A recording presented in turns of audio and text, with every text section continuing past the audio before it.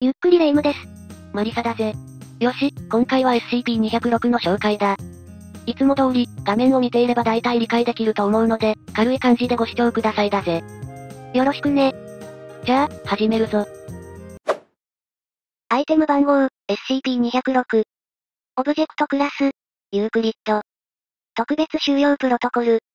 現在、SCP-206 は未収容状態にあるため、その存在を秘匿する目的で情報隠蔽措置が講じられています。SCP-206 が使用している基地の周波数は全て監視し、他の探査機や衛星を介し地球に送信された画像データは、受信後、財団が所有する記録媒体に保存されたものを除き、全て削除してください。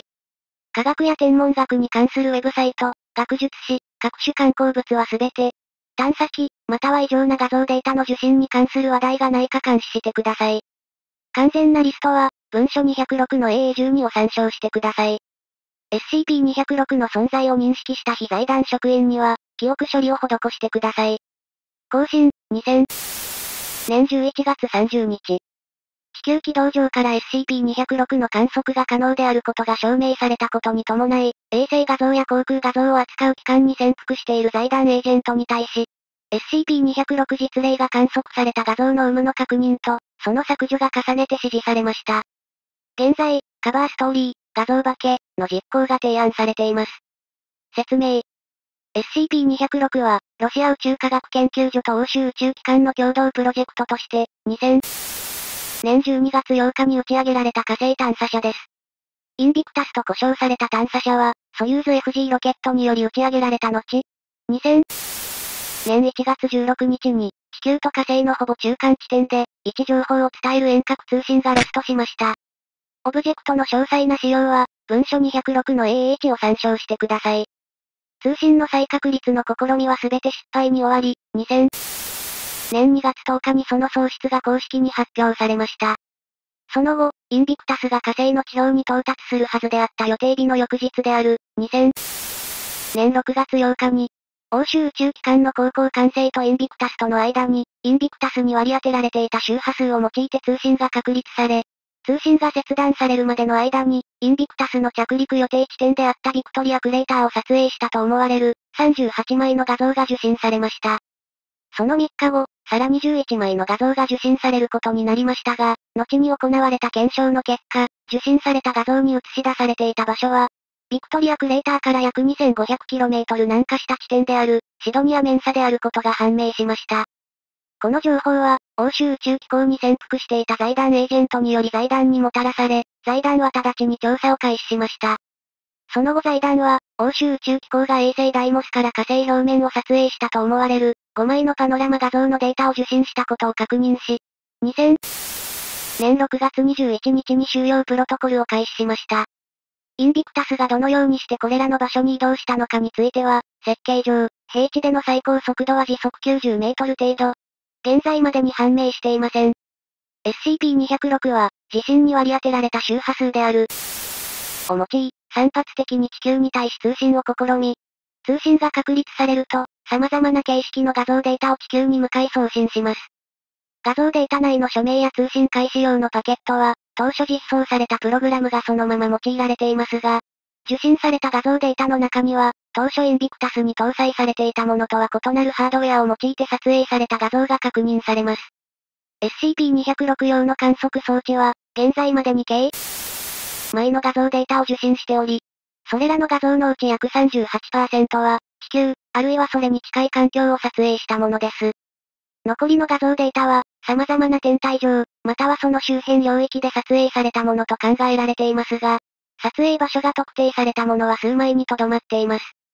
通信が行われる間隔にはかなりのばらつきがあり、これまでに最短で26時間、最長で511時間の間隔が確認されています。また、インビクタスと思われる探査車は、工学的に観測することが可能であることが判明しているにもかかわらず、ホイ206の1参照、受信した画像内に存在する鏡面を撮影した画像の中に、インビクタスの姿を確認することはできません。また、受信された画像データ内には、インビクタス程度のサイズや形状では到達することが困難、または不可能であると思われる場所で撮影された画像も、複数枚確認されています。ホイ206の1。財団が終了プロトコルを開始した時点では、画像データがインビクタスから送信されているものなのか、それとも、何者かがインビクタスに割り当てられた周波数を投用し、インビクタスになりすましているのかは判明していませんでした。しかし、2000年8月13日、インビクタスから月面に存在する再起反射機を撮影したと思われる画像データが受信され、その後、軌道上資産を用い、画像データが送信された地点を観測したところ、インビクタスと同程度のサイズの探査車が残したと思われる痕跡が確認されました。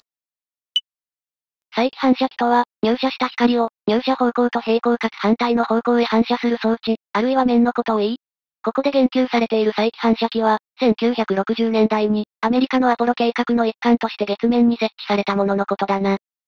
少し前の説明にあった、インビクタスの姿が映っていない鏡面、というのは、その再起反射機のことということかしら？ああ、その通りだ。では、続きをどうぞ。また、2000年11月30日には、日本の月周回衛星かぐやが、コペルニクスクレーター上で観測カメラの調整を行っている最中に偶然、SCP-206 本体を観測し、その4時間後、観測された地点を撮影したと思われる画像データがインビクタスから受信されました。これ以降 SCP-206 は、複数の観測衛星により様々な地点で観測されています。SCP-206 の目撃記録を参照。